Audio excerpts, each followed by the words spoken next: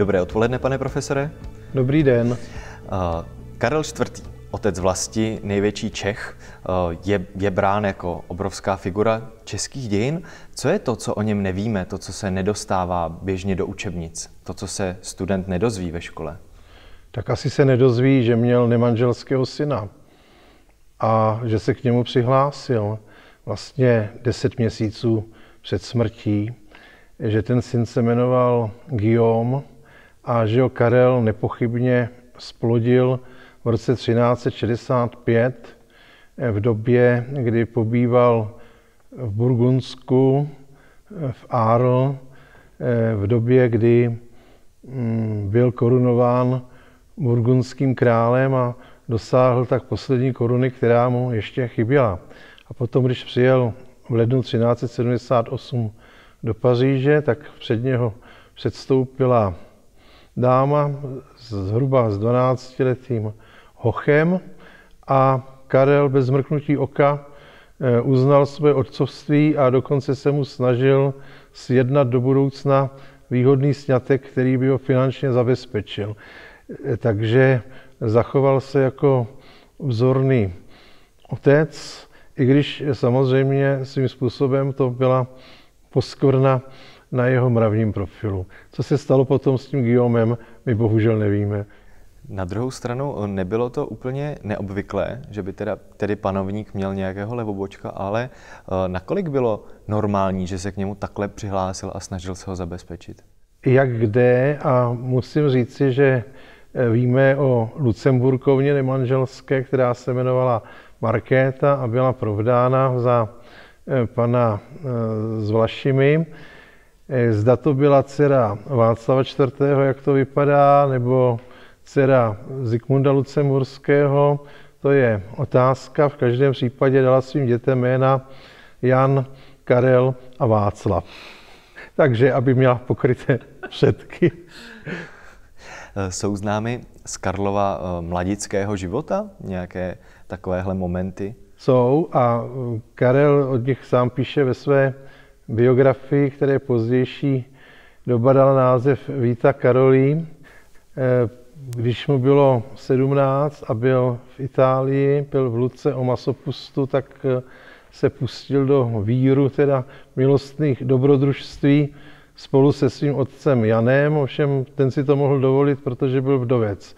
Jenomže Karel byl fakticky ženat velmi krátce, měl legitimní manželku Markétu z Valois, řečenou Blanco nebo Blanche, a byl od ní odloučen teda už dlouhé měsíce, takže pochopitelně z hlediska přírody to bylo pochopitelné, ale on se tím trápil, měl výčitky svědomí, ze kterých ho vysvobodil až jeho pověstný sen Terencu 15. srpna 1333, který se mu potom znovu vracel na mysl eh, v roce 1340, kdy putoval v březnu alpskými dolinami zasněženými ze Salzburgu přes Ciltál eh, za bratrem eh, a Janem, Janem Jindřichem a mm, vlastně ta hrůza těchto zážitků se promítala,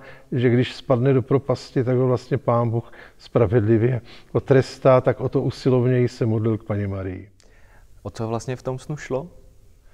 Tam šlo o to, že e, uviděl, jak jeho příteli a vzdálenému příbuznému byl uťat pohlavní út, protože zhřešil. A mm, ráno to potom vyprávěl svému otci, který řekl, prosím tě, nevěř snům, to je hloupost. A zanedlouho přišla zpráva, že ten dotyčný byl zabit šípem při obléhání jednoho hradu, takže eh, vlastně Karel tady působil jako prorok, věštec nebo jako šaman. Že jo. A tedy kromě těchto dvou, můžeme říct, poklesků v milostném životě Karla IV. nejsou známy další takové detaily? Ne, další takové detaily známy nejsou. Eh, jinak se Karel profiluje právě jako velmi mravný a Eh, takřka dokonalý panovník. jak, tak, jak by měl vypadat před veřejností.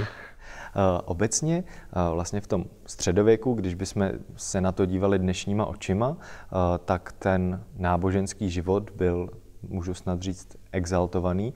Jak v tom vystupuje Karel IV.?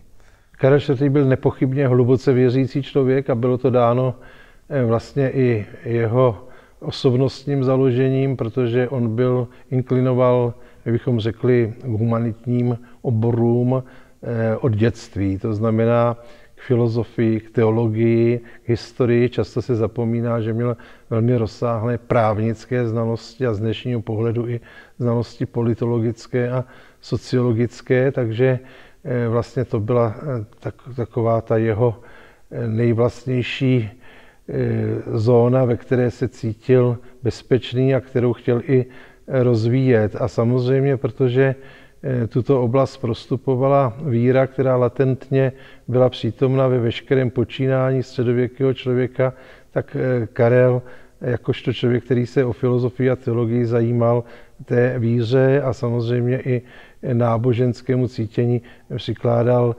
mnohem větší význam než jiní panovníci na trůně. Ostatně není příliš časté, aby byl na trůně filozof nebo právník. Že jo? Takže i v tomto směru se Karel vymykal.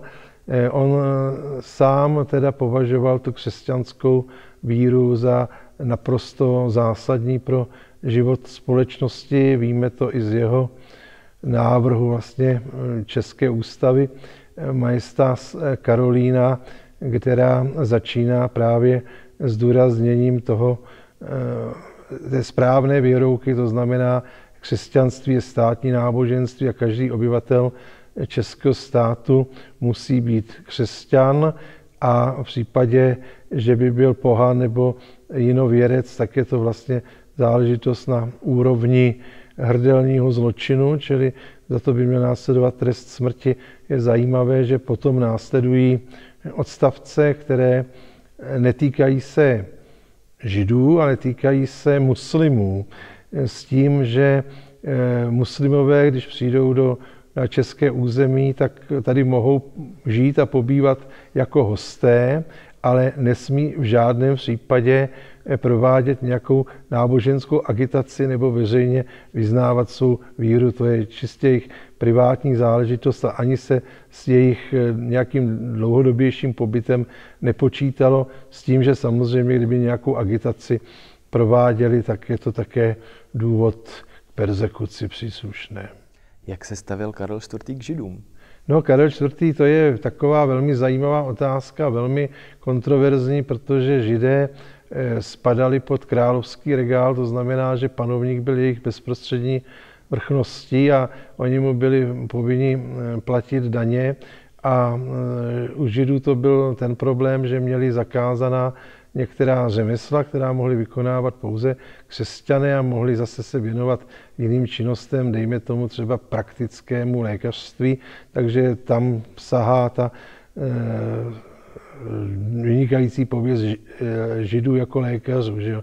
ale samozřejmě také finančnictví. To znamená, že mohli půjčovat peníze na úrok, což teda oficiální eh, zákony zakazovali. Eh, povolovali nakonec ten úrok desetiprocentní, ale židé eh, půjčovali na úrok ve výši 20 až 450 procent. Eh, čili mm, v podstatě pro ty panovníky středověké to byly takové skryté banky, kam oni v případě potřeby mohli sáhnout. Víme, že Jan Lucemburský toho velmi využíval a Karel IV využil i těch záležitostí spojených s morovou epidemí velkou evropskou 1347-1352, která se českých zemí v podstatě nedotkla, dotkla se velmi silně německých oblastí a eh, vznikaly protižidovské pogromy, protože eh, v té atmosféře panické se šířilo přesvědčení o fáma, že židé způsobují mor a že otrávili studně a prameny, aby se zbavili křesťanů. Přitom Karel sám a papež Kliment VI. říkal, že to je nesmysl, že židé umírají stejně tak jako křesťané, ale to neplatilo, takže opravdu docházelo k pogromům a k ničení židovských get a eh, k upálení dokonce židů, ať už teda ve Francii nebo v dnešním Švýcarsku nebo v Německu došlo k veliké zkáze norimberské židovské obce a tam právě to bylo více než 500 židů, kteří tam zahynuli a tam právě Karel dal potom vybudovat hlavní náměstí a e, s kostelem slavným Frauenkirche, který tam stojí, byť samozřejmě rekonstruovaný po americkém náletu na Norimberg. No, e, takže e, při těchto pogromech v podstatě Karel dával placet svým dlužníkům, ať si vyberou dlužné peníze panovníkovi právě u Židů.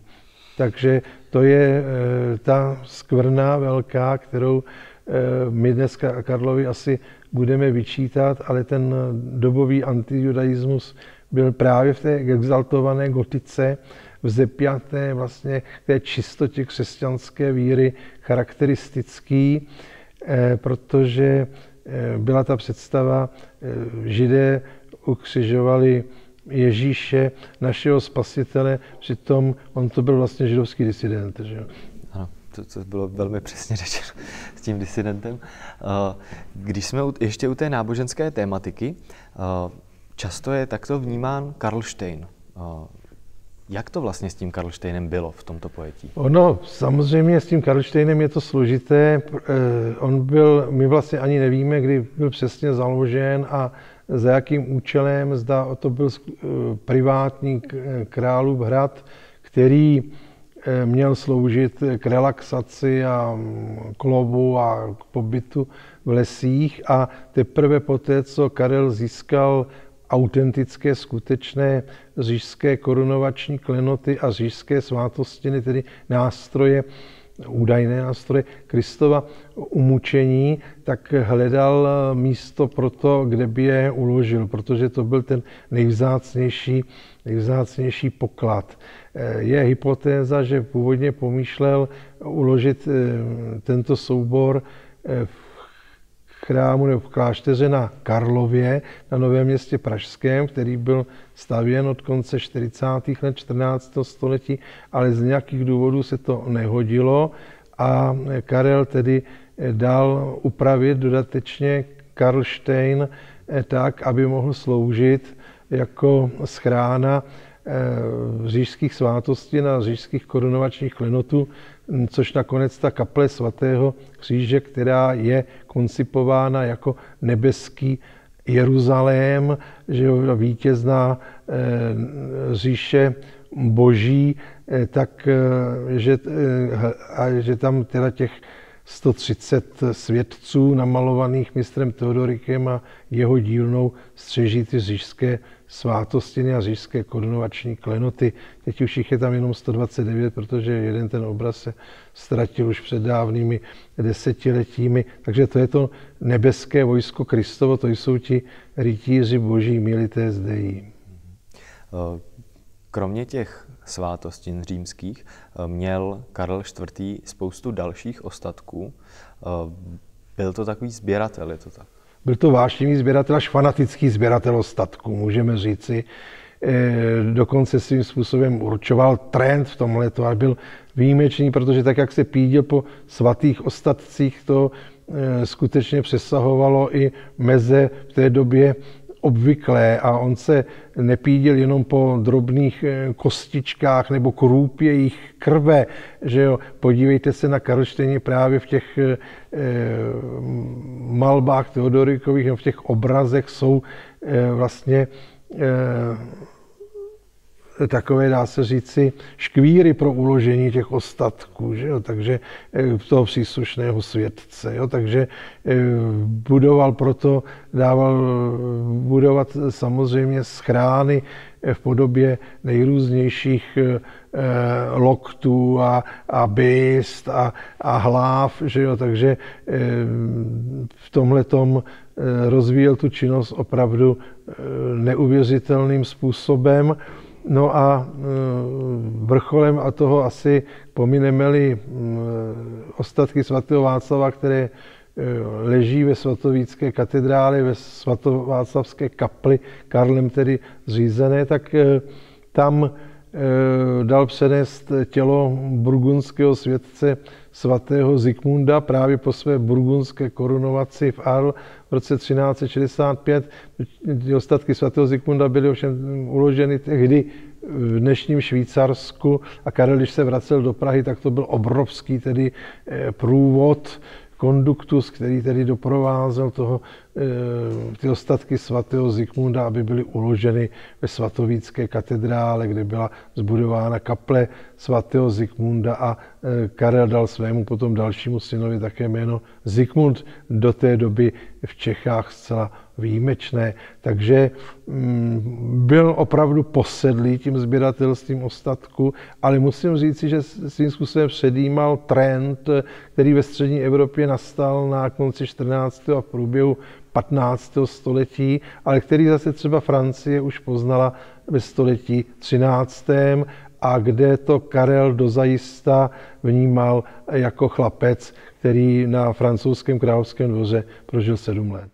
Občas se někde objeví uh, zkazka, že byly takové ostatky jako vous boha otce nebo pírko ducha svatého. Nacházelo se něco takového i v Karlových sbírkách? To by se ani nacházet nemohlo, protože Karel byl teologicky poučen natolik, že tohle to by prohlásil za herezi. A jsou, jsou některé věci z této oblasti, které naopak dnes považujeme za herezi a dřív v době Karla IV. to bylo běžné? My mm, za herezi nepovažujeme nic, co považuje katolická církev za herezi. E, to já dost dobře nevím, jak se e, staví k těmhle těm záležitostem. Karel, mm, no nevím, nevím, ne, ne, nemám na tohleto Eh, jednoznačnou odpověď. To by bylo příliš spekulativní. Zmínili jsme eh, Karla IV. jako zákonodárce, eh, byl to také velký zakladatel. Dá se, dá se přirovnat jeho zakladatelská činnost k něčemu dnes? To je velmi obtížná otázka, protože vy jste správně zmínil, že Karel byl zákonodárce a on musel být zákonodárce, protože byl spravedlivý panovník Rex Justus, takže samozřejmě to právo určoval a vykonával, eh, tak eh, to s tím souvisí, že byl i zakladatelem, že jo? protože zakládá jisté struktury a jistá paradigmata. Myslím si, že se to asi sotva eh, dá srovnávat s něčím třeba v České republice, ale nepochybně by se to dalo srovnávat s něčím, co se odehrává, dejme tomu, dneska v Číně, ano, když se snaží e, přizpůsobit e, západnímu světu a e, začne třeba stavět ve velkém, že jo, e, univerzity, stadiony, e, továrny na počítače, tak e, v tomhle směru lze přirovnat tu Karlovu zakladatelskou činnost, eh, protože on se snažil, aby České království se vyrovnalo eh, těm nejvyspělejším evropským oblastem, to znamená Francii, Poríní, severní Itálii, eh, dnešnímu Beneluxu, tak jak to Karel poznal mezi svým sedmým a sedmnáctým rokem, což ho jistě inspirovalo právě k této zakladatelské činnosti. Takže dá se říci, že ta činnost je velmi programová a velmi usilovná. A když bychom třeba měli vzít, dnes už o, o něm tolik není slyšet, ale tunel Blanka, jako velkou stavbu v Praze, srovnat to s něčím, co takhle založil Karel IV. Tak, tak asi Karel by nezakládal tunely, což už je samo o sobě eh, příznačné.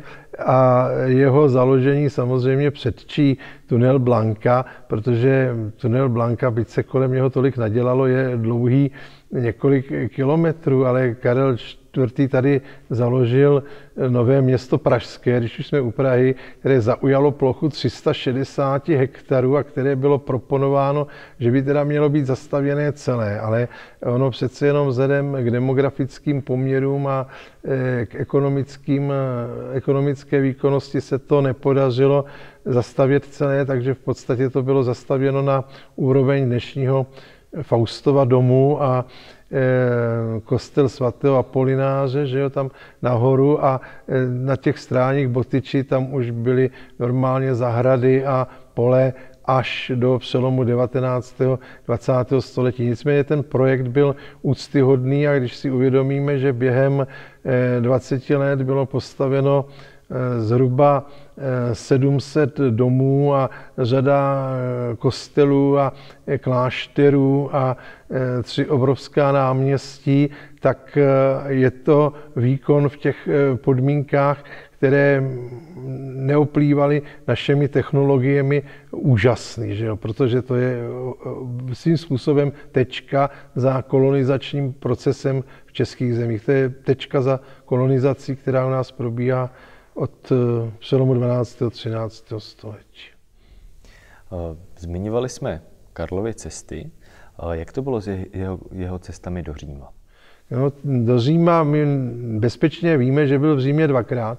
Zda se tam dostal při svém italském pobytu jako teenager, tak to nevíme, ale mně se zdá, že spíš ne, ale samozřejmě ruku do ohně za to dát nemůžu a usuzuju z toho tak, že v roce 1355 v Dubnu, kdy byl v Římě na velikonoční neděli korunován římským císařem a dosáhl vlastně vrcholu eh, své kariéry a své dráhy, protože v rámci eh, křesťanstva eh, světský vládce nemohl dosáhnout vyššího důstojenství, tak si vlastně vynutil nebo přestoupil papežský zákaz, že Řím navštíví pouze v den své korunovace a e, celý pátek a sobotu před korunovací Řím procházel a navštěvoval tamní památky antické a především křesťanské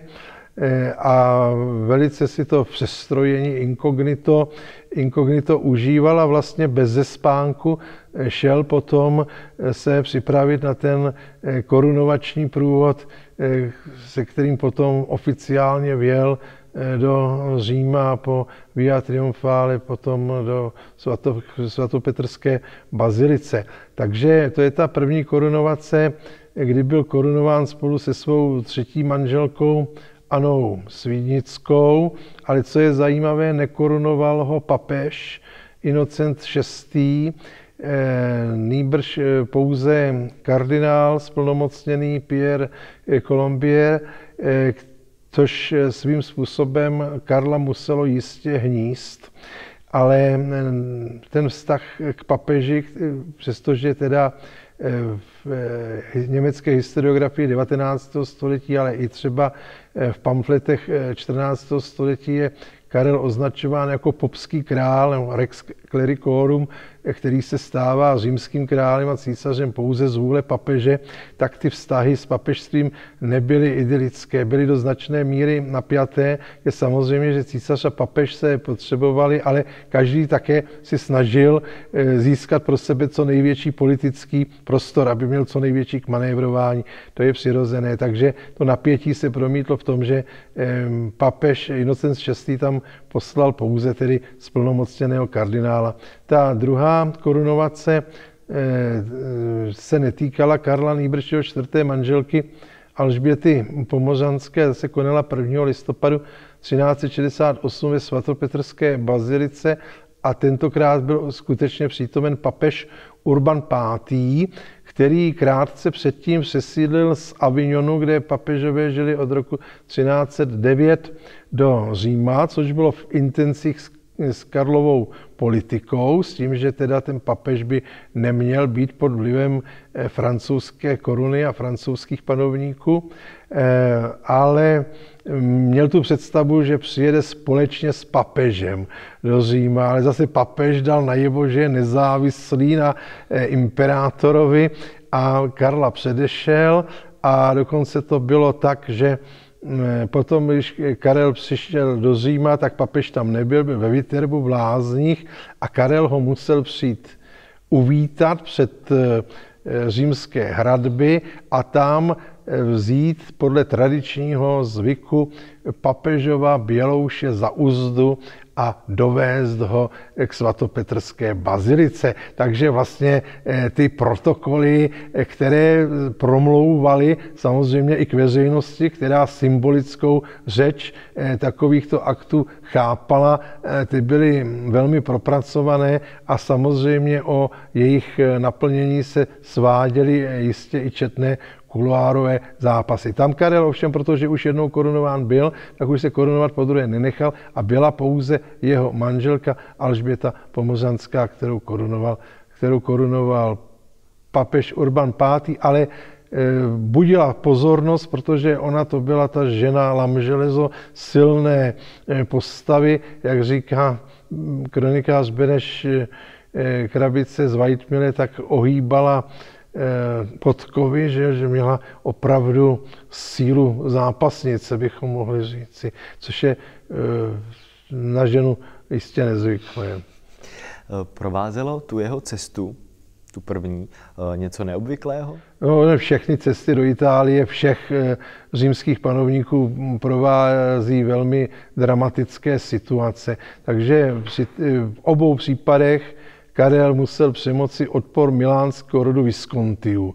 To byla taková, dá se říci, zábrana na té cestě a v tom prvním případě Karel potřeboval, aby splnil, eh, dostal úzu eh, získat eh, lombardskou korunu a být korunován v Miláně na krále italského, což se mu teda 6.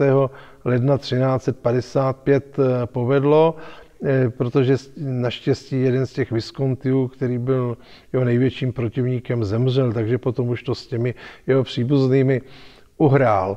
Ale eh, dlouho pobýval, než mohl věc do Milána v Mantově, kam se zase po té milánské korunovaci vrátil a tam ho navštívil básník Francesco Petrarka. Myslím si, že eh, Petrarka Karla nezajímal ani tak jako svými humanistickými sklony anebo nějakými sonetami Klauze, nýbrž svým dílem o velkých osobnostech a svými filozofickými a náboženskými představami. Petrarka na Karla tlačil, aby se usadil v Římě a obnovil slávu antického římského impéria. Karel věděl, že to je chiméra, takže Petrarku nevyslyšel. Nicméně oba muži zůstali v přátelských vztazích a Petrarka dokonce navštívil Prahu, takže to je taková zajímavost. A při té, při té druhé cestě tam samozřejmě bylo to vyjednávání s těmi Viskonty také velmi složité, ale co je zajímavé, zatímco při té první cestě Karel byl v tom Římě tři dny, tak při té druhé tam byl dva měsíce, takže si Říma užil dostatečně. Nepotřebujete přestáv? Jak to bylo s jídelníčkem v době Karla IV. A teď nemyslím uh, klasický lid, ale tedy jak to bylo s Karlovým jídelníčkem? To je záludná otázka, protože Karel samozřejmě jedl jinak, než jedli měšťané a, natož, a úplně jinak, než jedli sedláci, že jo? protože ta kuchyně a stravovací návyky a dokonce i počet jídel denně se lišily podle jednotlivých sociálních a profesních vrstev. Eh, ten problém je ovšem také v tom, že Karel se pohyboval po velké části Evropy, kde panovaly různé stravovací návyky a že se pohyboval mezi pásmem vlastně německé kuchyně, kam spadaly i české země a která je tradičně založena na sádle jako tuku, na pivu jako nápoji a na červené mase a můžeme říci i na vepřovém a hovězím a samozřejmě jako doplněk, jako příloha zelí, že jo? takže to vepřo knedlo zelo tady není náhodou tradiční jídlo. A mezi tou kuchyní francouzskou a kuchyní mediterální, středozemskou, kde naopak dominoval olivový olej, bílé víno a bílá masa a ta spotřeba třeba v mase červeném byla obrovská, protože v tomto období takzvané masožravé Evropy v německých oblastech spotřeba masa červeného mezi 80 až 120 kg ročně na osobu v lepších vrstvách a zatímco v Itálii kolem 30-40 kg. Takže ten rozdíl byl opravdu obrovský. Pochopitelně, že nejsme informováni o tom, jak Karel eh, jedl eh, normálně, když byl mimo protokol, to nevíme, ale za to se zachovalo jedinečné svědectví o jeho návštěvě Francie v lednu 1378, kdy jeho synovec, francouzský král Karel V. se chtěl předvést před eh, delegací eh, vedenou Karlem IV. a eh, jeho synem Václavem, tehdy již korunovaným římským králem, čili dal strojit honosné tabule. Víme, známe také jméno šéf kuchaře, který se o to staral, byl to Guillaume Tyrell a zachovaly se právě jídelníčky, eh, z té doby jídelní lístky, eh, takže já jsem si to tady připraven na vaši otázku napsal, protože si to nepamatuju z hlavy. Musíme si uvědomit, že dneska máme chody, že jo? máme mm, předkrm, máme polévku, máme hlavní jídlo, máme dezert a máme maximálně čtyři chody, většinou pouze tři. Když to tehdy za chodce eh, považovalo, eh, alespoň v Paříži 1378, eh, první, dá se říci, várka jídla, která byla obrovská a rozmanitá, a když byla částečně skonzumovaná, nikdo už jí nevěnoval pozornost, tak přišla druhá, neméně bohatá a potom i e, třetí. Jo. Takže jenom pro ilustraci uvádím, že 6. ledna 1378 na tři krále, tedy v tom prvním chodu, byla porková polévka, hrachová kaše, to by tak ještě bylo normální, Eh, dále tam bylo hovězí a skopové maso, nasolené husy, ragu z ústřic, kapouni a ragu z pernaté zvěře. Eh, v tom druhém chodu byly pečení cejni, lososy, mořské ryby a pečivo. Tady vidíme, že to bylo jisté odlehčení, že to maso je lehčí v porovnání s tou drůbeží a s tím červeným masem, které bylo v tom prvním chodu.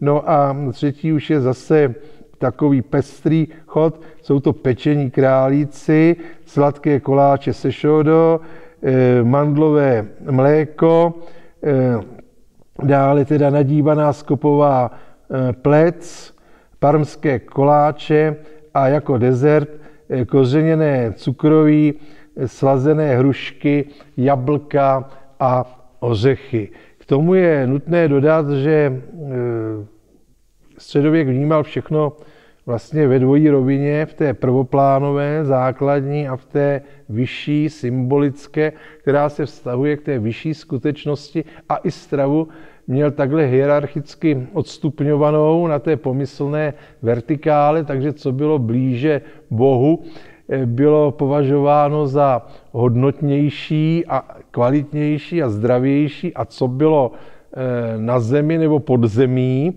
tak eh, bylo blízko peklu a bylo to považováno za nehodnotné. Takže pokud vám tady chyběl, chyběl výčet zeleniny, eh, zejména kořenové, no tak to je dané tím, že prostě byla v zemi a byla považována za nehodnotnou Ehm, potravinu. Takže na takové brambory, že jo, které tehdy Evropa neznala, no tak eh, těmi by opovrhovala. Tak tam je, tam je, to, tam je to jasné. A eh, zase eh, tu máme i u ptáků, že avikula, drobné ptactvo, bylo považováno za hodnotnější, to znamená nějaké ty vlaštovky, které také dneska chytají v Itálii, že jo, když, když táhnou a dělají z toho potravu, různě nadívají, že jo?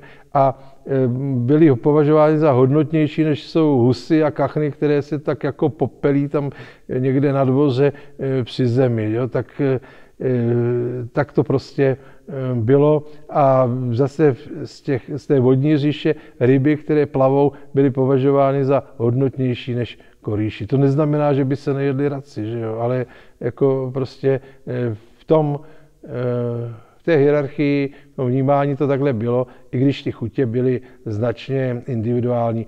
Můžeme říci, že ta francouzská kuchyně, alespoň z těch eh, receptů a eh, jídelních lístků, které známe, se jeví taková kyselější, eh, než ta kuchyně, než ta kuchyně středoevropská. Jo? Takže spíš by se to asi blížilo nějaké té Eh, větnamské nebo azijské, azijské kuchyni, než eh, chuti, eh, se kterou si spojujeme z dnešní Francii. I když tam ty některé pochoutky tradiční francouzské jako ústřice že jo, a kapouni, to tady, to tady nechybí že jo, už, už tehdy.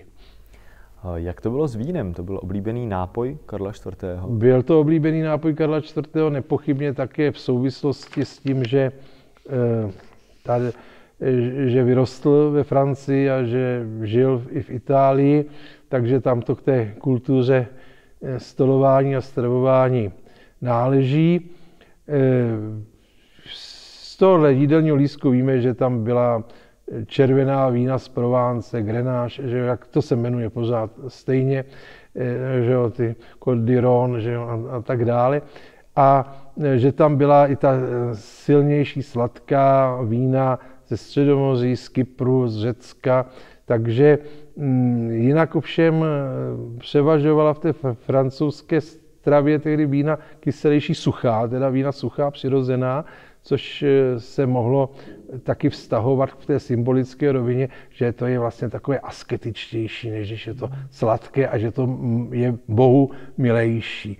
E, myslím si, že tady by se asi francouzi vyřádili, kdyby přijeli do Čech, kde Karel tedy zavedl ve velkém pěstování vinné révy, především v okolí Prahy, svým výnosem z roku 1358, který se zachoval a který stanovil, že mají být zřizovány v Praze, kolem Prahy vinice až do vzdálenosti dvou mil, to je zhruba 14 až 16 kilometrů od městských hradeb, takže Praha tonula tehdy v létě a na podzim v zelení a muselo to být i ekologicky z našeho pohledu velmi zajímavé. Ta tradice pražských vinic přetrvala až do válek o dědictví rakouské a do sedmileté války, kde ty různé dělostřelecké baterie umístěné ve Vinicích tomu učinili samozřejmě konec, když ta sláva mm, začala klesat už s válkou 30 letou.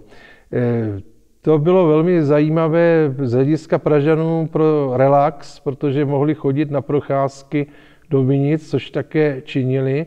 Je to vlastně takový ekologický a kulturotvorný, eh, krajinotvorný element, že jo?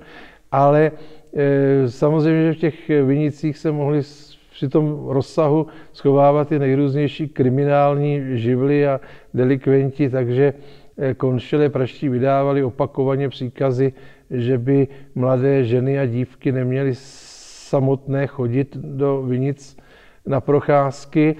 Nehledě na to, že o vinice se starali vlastně osoby, které nebyly nějak eh, sociálně ukotvené a které neměly stálou profesi, takže z tehdejšího pohledu nepatřili do eh, oficiálních struktur a byli to v podstatě lidé na okraji, že jo.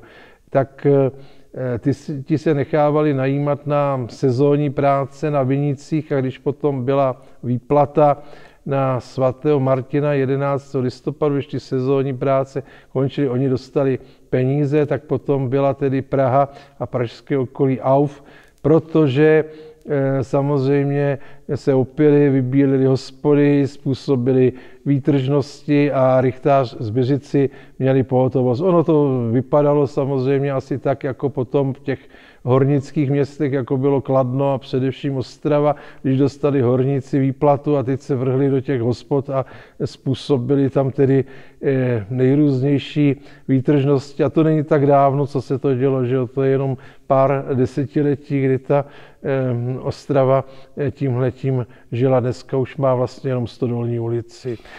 Tak to jenom na okraj, že prostě některé záležitosti jsou takřka antropologickými konstantami a mají dlouhé trvání. Moc krát vám děkujeme a přejeme hezký den. A podobně.